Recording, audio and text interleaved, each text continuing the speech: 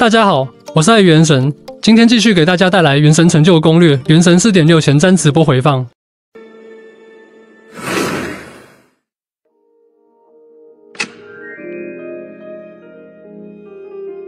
雷穆利亚的衰亡距今已数千年，其历史也早已笼罩在传说与迷信的海雾之中。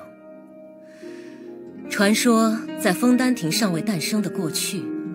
雷穆利亚王国的子民们都相信着，他们的雷穆斯王将为这枫丹高海之上的所有岛屿带来永恒的繁荣。然而，神王的先知们却做出了不邪的预言：最兴盛的帝国也会迎来最彻底的毁灭。这，便是法图纳。于是。神王从七天的轮转与海陆的流风中领悟了原初的规划，据此谱写出了协荣的乐章。他相信，只要地上的城邦都与这至善的乐章协同共奏，就能逃脱命运的审判，直达至福的永恒乐土。而如今，啊，好困。原来壁炉之家里也要上这么无聊的课，来参观之前还以为会是传闻中的那样。传闻中的哪样呢？我我还以为我已经很小声了。孩子们在课堂上所有的悄悄话和小动作，以父亲的视角来看，都非常明显。对，对不起，我还以为壁炉之家的教育方式会更加惊险刺激。啊，你是指那些？壁炉之家并不局限于某一种教育手段，你同意的话，可以作为助手，帮忙拓展课程范围。我，我应该胜任不了吧？呃，果然还是算了。直觉告诉我，有些事还是不知道比较好。不用担心派蒙，父亲对没有违反规矩的人，是不会过分苛责的。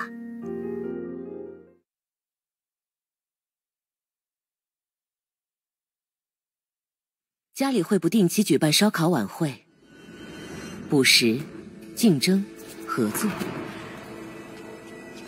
他们很喜欢参加这种活动，我也一样。毕竟谁都无法预料，下次举办晚会的时候，人群中又会减少哪些熟悉的面孔。出了点状况，事关居乐石和赛诺，我想有必要让你们知道情况。那是一个。隐秘而伟大的计划，我们在这里为神明的降临而狂欢。我是这么得到力量的。老爷子派人来催了，让我回去参加什么计划？严冬计划。按照这个计划执行，我们会牺牲很多人。我原以为赠与神之心会是我们最后一次见面。如果纳维莱特先生同意我的提案。今后非必要情况，我们不会在分班执行特殊任务。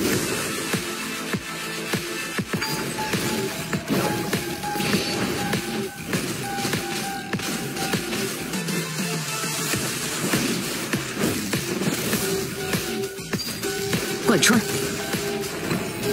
如月长存。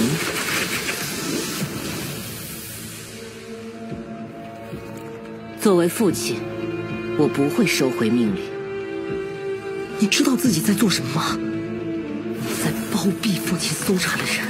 我不想把任何人卷进来。这件事如果被父亲发现，所有知情者都会一并被惩罚。一个背叛者。赛诺确实被选中了，可他不是唯一的。你想要回这份力量？我很期待这场暌违已久的决斗之役。赫曼努比斯的智慧，理应降临在这里。我希望你能成为下一个王，但你似乎并没有这样的想法。我的心里也没有答案，但我们会离真正的家越来越远。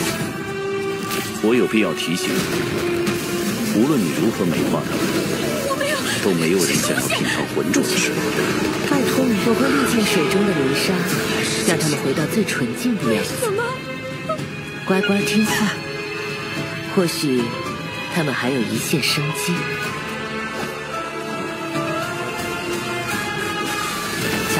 各种危险。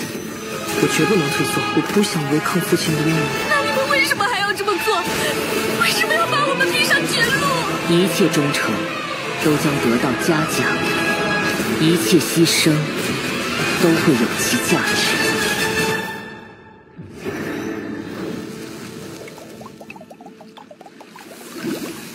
大家好，我是派蒙的配音演员多多，我是男旅行者空的配音演员录音。欢迎收看《原神》四点六版本的前瞻特别节目。我和多多都觉得壁炉之家绝对不是一个简单的福利院，所以呢，我们今天就请到了相关的配音演员，打算和他们做一个情报交换，揭露壁炉之家的真面目。没错，那么让我们用热烈的掌声隆重有请他们出场。哦，大家好，我是壁炉之家的父亲，愚人众执行官仆人阿里奇诺的配音演员黄英。很荣幸能受邀参与《原神》前瞻节目的录制。大家好，我是壁炉之家的林尼还有菲米尼的配音演员锦鲤，这也是我们邀请锦鲤老师的原因之一了。一个顶俩，是不是？对，是啊，锦鲤老师配了两个壁炉之家的角色，想来知道的情报肯定也很多吧？黄英老师作为壁炉之家的父亲的配音演员，就更不用多说啦。压力给到了，我尽力，我尽力，我尽力。不过呢，要透露什么样的情报，也得看你们打算用什么来交换呢。哦，那我心中关于仆人的疑问可真是太多了。嗯，你想知道什么，我全说了，但我也不一定全知道啊。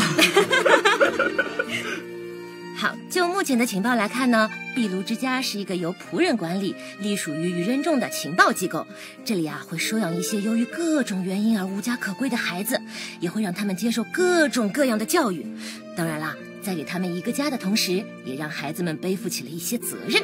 嗯，这些应该也是很多玩家了解到的壁炉之家吧？嗯。大家也知道啊，壁炉之家不是一个简单的福利院。愚人众第四席仆人身上也有很多未解之谜。接下来就来谈谈阿里奇诺的事情吧。好呀，好呀，好呀。嗯，其实我想听听锦鲤先来聊聊，你觉得仆人是一个什么样的人呢？我觉得吧，就和孩子们对他的称呼一样，父亲啊。嗯。父亲这个词呢，再加上仆人给人留下的印象，还有以及壁炉之家的小朋友们需要面临的那些任务啊。很容易让人联想到严厉啊、责任啊这种更为锐利一些的台词。是。然后，但我觉得仆人是平等的爱着壁炉之家里面的每一个小孩的，不会无缘无故的苛责他们。嗯。但是仆人给我留下的印象还有就是，虽然他谈吐之类的都很优雅，也很讲究礼节，但是说话做事就是会自然的散发出一种很强的压迫感。对对，还记得弗妮娜假装不记得仆人是谁，还会说做噩梦什么的。我想说，我很理解他。这么看来，阿雷奇诺真的是一位可怕的父亲呐。没有没有没有。哎，那我要说了啊，虽然孩子们被父亲教导的当下，或许会觉得压迫感很强，或者是因为严厉的态度不敢说话，但我觉得在愚人众这个组织的环境下。他们是需要比普通同龄人更加成熟、更加坚强的内心的，而且我会觉得这种教育方式大概也和仆人自己过去的经历有关吧。嗯嗯。你呀很敏锐啊，对于林妮的角色也吃得很透。不过呢，我们这些啊就先留个悬念啊。关于很多玩家好奇的“父亲”这个称呼的来由啊，阿里奇诺过去的经历啊，请大家多多关注四点六版本上线的阿里奇诺传说任务“禁炼火之章”。其实我自己当时也非常非常的好奇啊，然后我就很期待这一章的上线啊。那希望大家在了解这一切之后啊，就能体会到阿里奇诺独特的魅力。嗯。我也真的非常期待呢。同时，四点六版本会上线一个新功能——任务专注体验模式。在进行阿雷奇诺传说任务时开启的话，能尽量避免出现人物场景被其他任务占用的情况。希望能帮助各位旅行者更专注的体验这段剧情。没错，后续呢也将会陆续在更多的任务中开放这个模式哦。其实除了这个传说任务，还有一个更期待的内容，就是很快能去仆人语音里面听愚人众执行官之间的那种锐评。这个我也很期待，我也很期待了。那么接下来呢，就带大家感受一下阿里奇诺那优雅又危险的战斗方式吧。好，好，不要一直盯着我的眼睛，不保证你会看到什么。贯穿。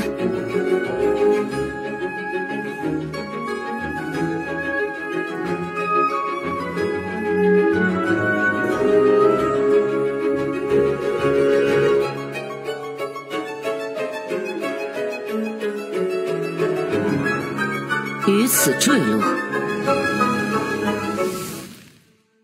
首先呢，我带大家来回顾一下“生命之气”这个概念吧。还有人记得吗？哦，开始了吗？壁炉之家的战斗课程，感觉来了。我记得就是血条上面那个红色的部分吧。一旦有了生命之气，你的受治疗效果就会被它吸收，在治流量抵消掉生命之气的数值之前，好像都没有办法恢复生命。嗯，不错不错。阿里奇诺具有的生命之气大于或等于生命值上限的一定值时，他的普通攻击、重击与下落攻击将转化为无法被附魔覆盖的火元素伤害。此时的普通攻击命中敌人的话，会消耗掉一部分生命之气来提升攻击伤害，同时也会缩短一定的元素战绩冷却时间。哦，等等等我消化一下。也就是说，仆人具有的生命之气越高，普通攻击也会越厉害喽。啊，究极简化下来的话，确实是这么说也没有错。你 要研究一下，研究一下。对对对对对，是简化的有点多呢。那仆人应该也具有给自己赋予生命之气的能力吧？嗯，没错。阿雷奇诺的元素战技在对敌人造成伤害的同时，会对命中的敌人施加血长勒令，来间歇性的对敌人造成伤害。当阿雷奇诺进行重击或释放元素爆发时，将能够回收并清除掉周围的血长勒令，再根据回收的血长勒令来为自己赋予一定的生命之气。哦，那就联动起来了。嗯，但是生命之气在被消除之前都没法恢复生命吧？那么仆人还有其他消除生命之气的手段吗？还是需要借助队友的治疗呢？嗯，那就再来看看元素爆发的效果吧。至于需要什么样的队友来互相配合，我希望你们在听完之后能有自己的答案。呃，这么严格，已经开始有压迫感了。真的吗？是是是是是是。阿里奇诺的元素爆发会在造成伤害后重置元素战绩的冷却时间，同时根据具有的生命之气以及攻击力的一定比例恢复生命值。此外，阿里奇诺的一个天赋能让他在战斗状态下获得一定的火元素伤害加成，并且仅能受到元素爆发的治疗效果。哇，就有一种强哦，太强了！感觉仆人不但对敌人狠，对自己也同样狠的感觉啊。是挺狠的，就是仆人长按使用重击的时候，还会有一种特别的移动方式，感觉如果他在夜晚用这个方式巡视壁炉之家的话，好像连脚步声都不会被别人听到吧？就啊，偷偷摸摸，偷偷摸摸，对对对。所以啊，只要自己不干坏事，就不用怕阿里奇诺的巡视了吧？嗯，好有道理哦。无法反驳呢。那既然黄英老师和锦鲤老师都分享了不少信息了，那我也交出我手上的情报吧。在四点六版本的上半期活动祈愿中，仆人阿雷奇诺与林尼将会迎来概率 up，全新五星长命武器赤月之行也将加入到武器活动祈愿中。然后下半期呢，将迎来流浪者以及白竹的复刻，感兴趣的旅行者不要错过哦。哦，我已经蠢蠢欲动起来了。就像刚才说的啊，在家人和外人面前，仆人常常有不同的应对方式，战斗其实也是一样的。面对特别的战斗场合，仆人也会显露出自己的另一面哦。嗯，不错，你们做好准备，见见他的另一面了吗？做好了。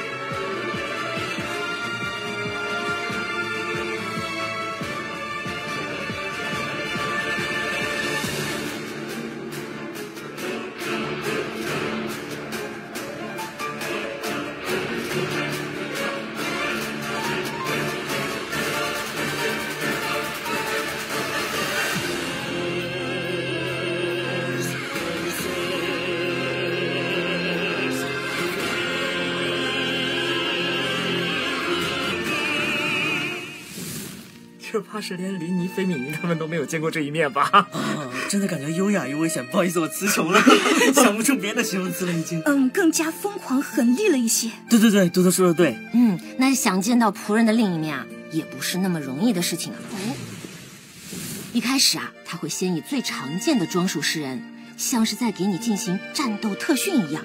等待你的进攻，并准备轻易将其化解。哇，我注意到我们离他比较远的时候，攻击好像都会被像是残影一样的他给躲掉，是不是？对呀，嗯，仆人的性格你们也是知道的，他不希望看到孩子们软弱的哭泣或是逃避。他希望孩子们能够坚强地向困难发起挑战，希望孩子们能够时刻手握主动权，即便他们是在面对自己的父亲的时候。真的能感觉到仆人那种出于绝对自信的从容和游刃有余。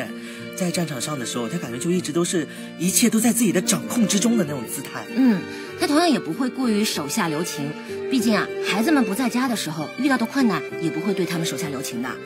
所以呢，仆人也会对你施加需要血偿的勒令。赋予你生命之气，如果你不偿还这份债啊，仆人对你的攻击将会得到强化，你就只能深陷无助和恐惧中了。但如果你能够清除生命之气，能偿还这血债，反而能获得仆人的认可与奖励，你对仆人发动的重击将得到强化。哦，听着好难啊！已经开始害怕了。然后他背后这个古意，我感觉长得像蜘蛛一样。哇！蜘蛛这个意象概念太贴合仆人了。对对对，就有一种控制着猎物，然后一边看猎物挣扎，一边又不紧不慢的靠近猎物的那种感觉。代入一下猎物视角，已经被吓死了。好 了好了，我觉得呢，就先介绍到这里可能比较好，给你们留点空间，去游戏里体验一下，会不会有你们刚才说的那么夸张的感觉吧？好，那对了，可能不少旅行者也会关心啊，所以我提及一下。仆人 BOSS 在故事上虽然和他的传说任务有关，通常情况下是进行传说任务到一定进度就会开启挑战的。嗯，但是别忘了还有周本 BOSS 快速开启功能哦。只要你冒险等级达到四十级以上，在冒险手册秘境征讨领域部分点击快速开启后，就可以直接前往挑战了。好的，那么现在就到了多多还债的时候啦。好，多多还债啦！我也按照约定分享一下新圣遗物的情报。四点六版本将会上线两套全新圣遗物：斜率异响断章和未尽的瑕疵。旅行者们，请持续关注后续的信息哦。嗯，非常感谢两位分享的情报。好，我已经准备好了，期待四点六版本。那里那里，明明是你们分享的比较多。是呀是呀。那不然我继续加码吧。哇，还有筹码，还有啊。在四点六版本中，须弥城内也发生了一起新案件。那有案件的话，岂不是需要上报那位说话让人觉得很清凉的小伙伴啊？没错，就是我们的大风机关赛诺。呃，是吧？你们怎么知道和赛诺有关啊？可能是这位大风机关的说话风格让人印象很深刻吧？确实很深刻。嗯，其实是因为这起案件的当事人身份比较特殊，而且还和赛诺关系密切，所以呢，赛诺就想要自己跟进这个案件了。哦，听起来很严肃的样子。气氛可能就不会那么清凉了，万一很棘手，说不定还需要动用武力呢。哎，这就不用担心了，和大风机关动用武力，不管怎么样都会吃亏的哦。嗯，我有种不知道算好还是不好的预感啊？为什么？大风机关那么厉害，你被他打伤了的话，肯定会疼吧？而且，就算你也厉害，你打伤了赛诺，你也会伤风的。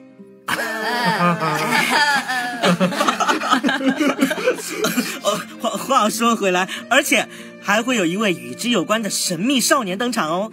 届时，旅行者们可以前往须弥找大风机关赛诺，一起调查这沙尘背后的秘密。嗯，当然啦，赛诺的朋友们也不是只会在饭桌上相聚，在赛诺需要帮助的时候，提纳里、科莱、艾尔海森、卡维他们也都会将现身提供帮助哦。啊，可以可以，有伙伴们并肩面对啊，感觉什么困难都一定能克服。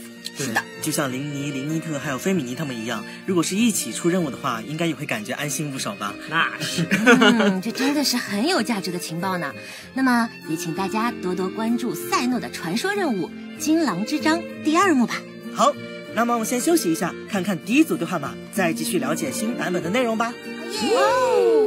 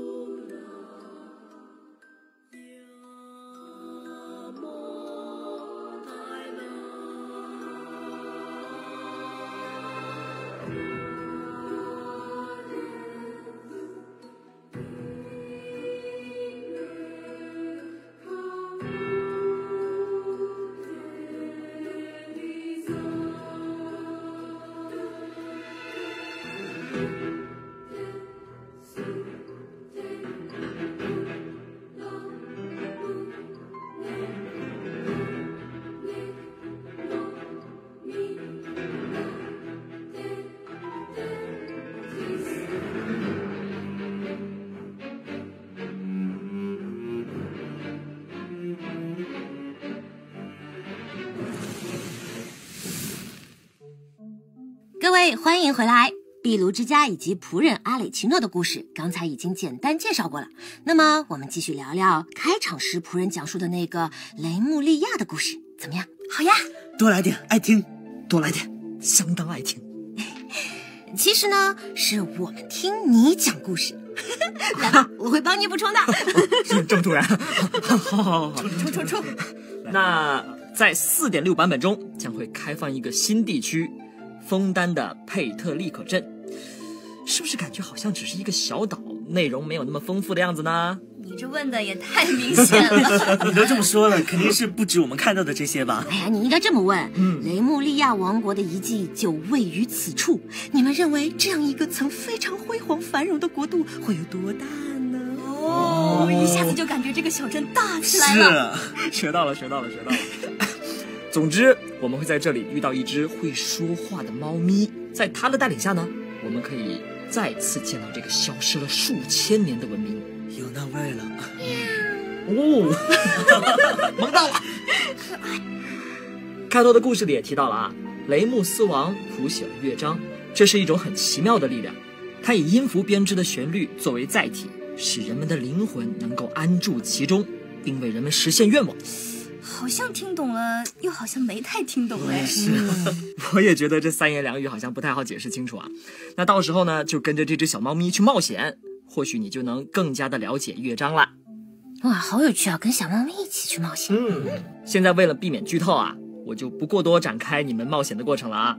总之呢，你们会来到雷穆利亚的遗址，没错，现如今它已经沉入到了阳光都无法到达的深海，而在深海中呢。你们还会遇到一只龙，哇，好梦幻！我感觉这个场景，我好喜欢这种风格。嗯，而且在已失落的雷穆利亚中啊，你们也能获得和乐章有关的力量。你可以让这个古老文明中的旋律暂停，也可以让那些尘封已久的部件的时间再次流动。也就是用这个能力来和遗迹中的特定物体进行交互，应该会对你们的冒险以及解密有帮助。嗯嗯，对。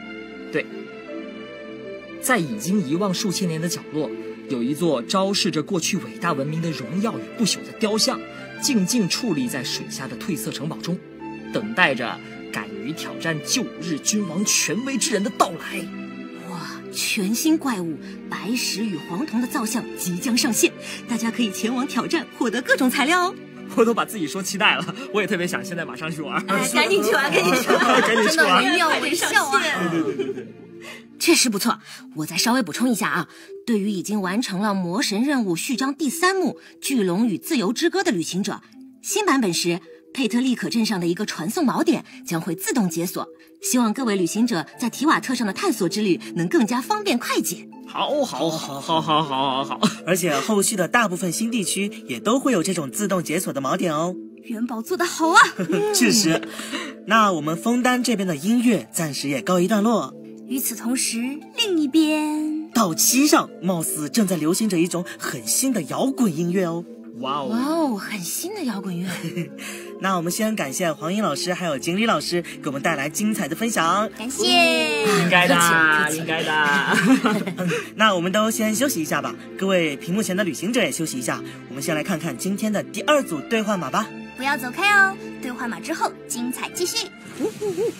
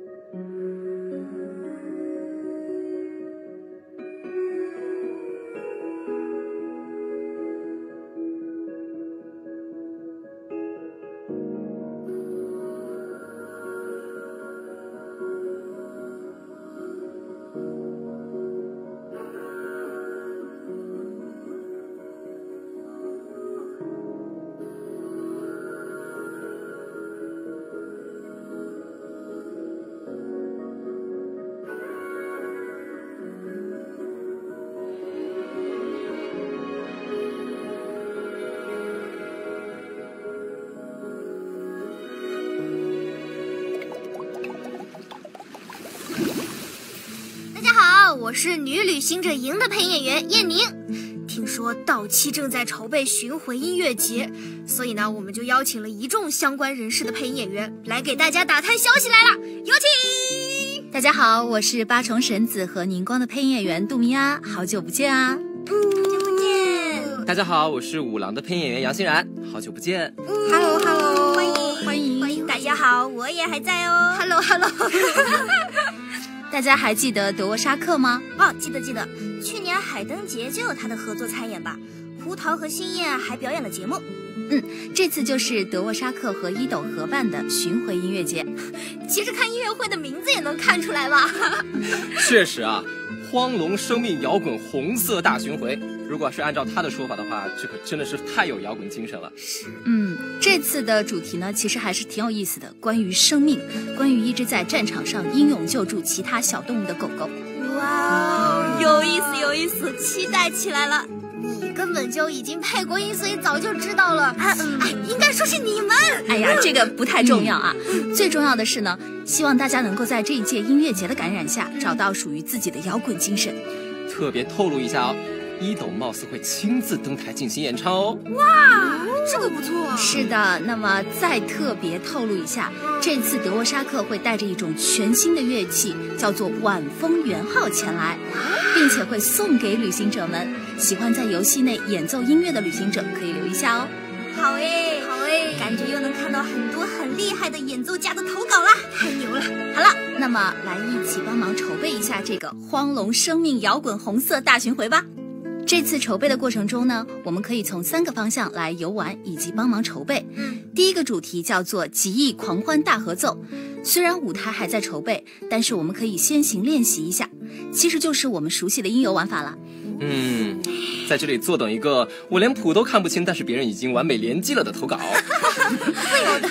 那么第二个主题叫做百万骑士大搜罗，需要帮忙筹备音乐节。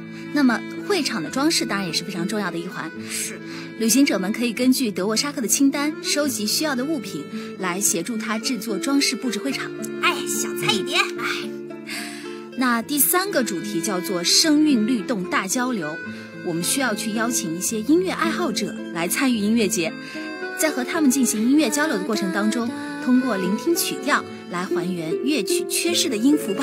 这个还挺新鲜的呀，而且还能听他们吟唱。没错，有点好奇起来了，好奇加一。到期这边呢，萦绕着充满摇滚精神的旋律，而蒙德那边则奏响着紧张刺激的音乐。细说紧张刺激，紧张刺激，那就是风行迷踪。谋策之局来啦！哇，这很紧张刺激。虽然好像也不能不算紧张哈，嗯，但是从名字来看，这次的玩法是有所变化的哦。没错，这次除了玩家们分别扮演游侠和猎手玩捉迷藏之外，还新增了一些规则。我来给大家介绍一下。来，每位游侠在首次被猎手抓到以后，都会被囚禁在监控地中一段时间，超过这个时间后呢，就会被自动释放。在这个期间内呢，其他游侠也可以选择偷偷的去监控地解救他。但是，如果有人在重获自由以后仍然被抓到了，也就是说被抓去监控地两次的话，不不就会被直接淘汰啦。啊，是多了点紧张刺激的氛围了。是，嗯，还不止哦。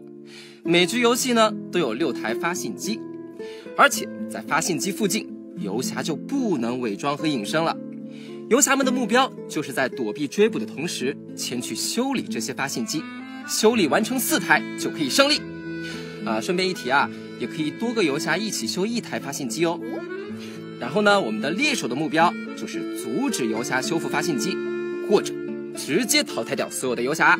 感觉这个和好朋友一起组队玩的话，乐子更多了，是吧？是吧？然后还有更刺激的。在游侠修发信机的时候，被修的发信机呢，在固定时刻还会进入高速发信状态。这个时候呢，发信机就会发出所有人都可以看见的光，小地图上也会显示对应的标识。那就意味着会暴露自己的位置哈，所以未知的风险有的时候就是最大的恐惧。此外呢，我们还收到了一个略微有点奇怪的委托哦，有多奇怪？有多奇怪？一个创意料理厨子。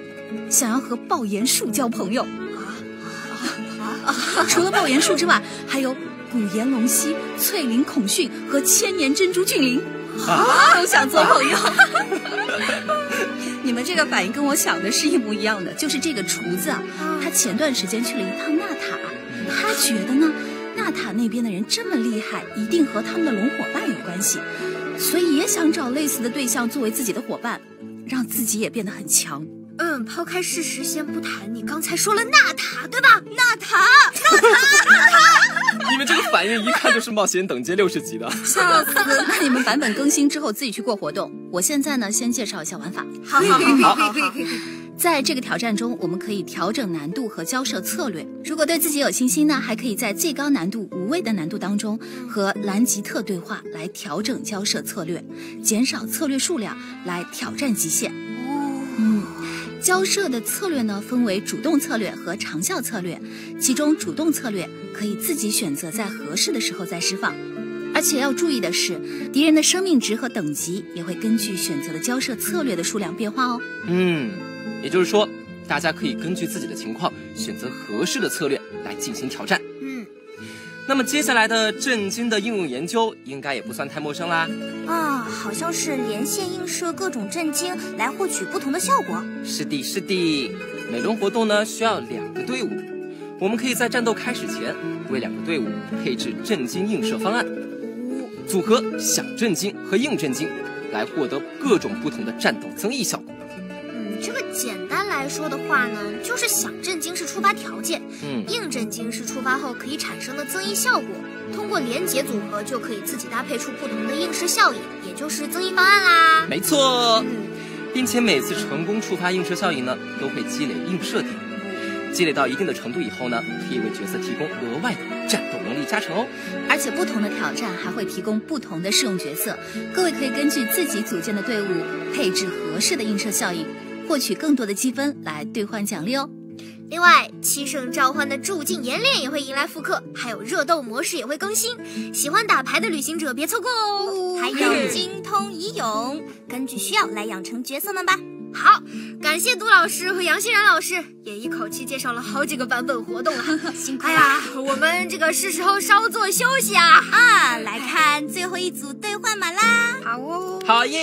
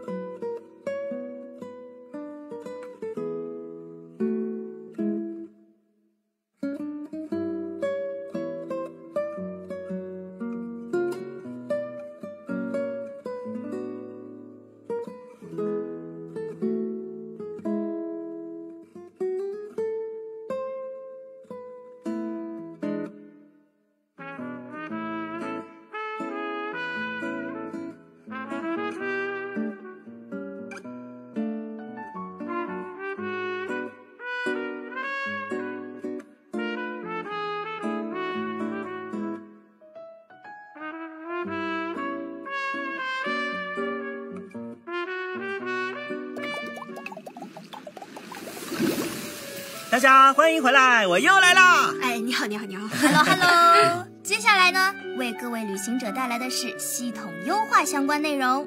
嗯，首先，陈歌湖将迎来一系列优化，比如这个家具快捷获取功能，可以在心愿单里一键购买，一键导入制作列表啦。哦，这个是真的会方便很多哎，感觉。是。然后头像系统也将迎来迭代，现在可以选择更多好朋友的形象来作为头像啦。哎，我看到了赞礼，还有蓝龙魔，对，还有雷鸟和阿刘他们，他们呢都是很有魅力的角色，相信一定也有不少旅行者很喜欢他们吧。以及寻宝罗盘相关优化，现在寻宝罗盘在大地图和小地图上都可以显示标记啦，而且也会有分层信息哦。好，好，好，这就更直观了，是时候把那些探索度百分之九十九的地方都消灭掉啦。鳄鱼真是。四点六版本期间，《原神》第三章枫丹篇 OST《金绿永邪》也将与旅行者们见面。这张专辑将会收录由 Hoyo Mix 音乐团队为《原神》枫丹地区四点六版本地图区域及相关内容创作的原声音乐。哇哇，好好多人啊！在这个场景里，感觉像是什么联欢晚会的谢幕一样。嗯。原神四点六版本的前瞻特别节目即将结束，让我们用热烈的掌声再次感谢几位嘉宾给我们带来的精彩分享。哦，那几位有什么感言吗？或者想说给旅行者们听的话？什什么？怎么变获奖感言了？我不知道啊。啊，其实我想说的大部分在刚才都已经说完了。感谢各位旅行者的支持。希望大家能更进一步的了解阿里奇诺，也希望我能有机会陪伴大家一起在提瓦特大陆上冒险。感谢黄英老师，说得好。我其实和黄英老师差不多哎，我感觉我们配音演员想说的话都大差不差，都是怀揣着对自己配音的角色的喜爱，希望大家能够喜欢角色们，喜欢我们的表演，也很感谢大家愿意让我们一直陪伴大家的旅途。嗯，加一加一加一。其实除了配音演员的角度，我还想从玩家的角度感叹一下，现在的提瓦特可以探索的内容真的是越来越丰富了。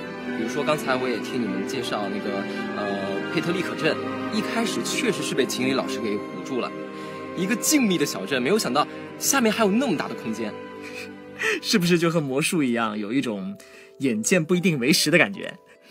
你别说，某种意义上确实挺像。大家的感言怎么都发表的这么好啊？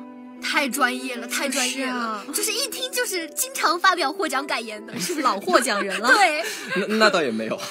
哎呀，就是分享分享自己的想法嘛。啊，那我也说一下吧。我觉得最大的感想就是，配音的时候总是以为自己已经搞明白发生什么事情了，但是到了游戏里还是能够经常惊喜到我。有了画面、音乐，还有各种元素的加成。让我们在明白这个故事是怎么发展的前提下，还能够保持想要继续玩下去的新鲜感。啊，对对对，这点真的很赞同。你又知道什么故事发展了？那有词的时候，项目组还是会稍微解释一下前因后果的嘛？就是就是，我也很同意这一点呢。我时不时的会看到仆人相关的剧情视频，其实表现要比配音的时候脑海中想象的要丰富不少啊。所以啊，也很期待四点六版本中的实际体验呢。是啊是啊，就想起来之前项目组的人还来问我，在我本来就不知道剧情的情况下，我来录这个前瞻节目就会知道比别人更多的信息嘛？会不会失去了对新版本的新鲜感？开玩笑，更期待了，好不好？是的呀，嗨，没错没错。所以各位旅行者也要记得去体验四点六版本呀。那么本次四点六版本的前瞻节目就到这里结束啦，各位。